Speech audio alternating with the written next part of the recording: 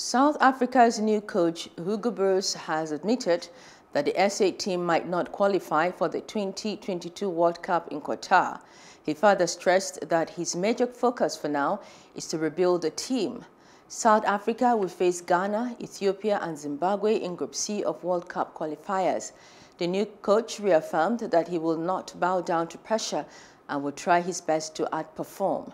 Since winning the Cup of Nations for the only time as 1996 host, South Africa has steadily faded as an African powerhouse and was ranked 15th in the continent and 75th in the world last month. And don't forget to hit the notification button so you get notified about fresh news updates.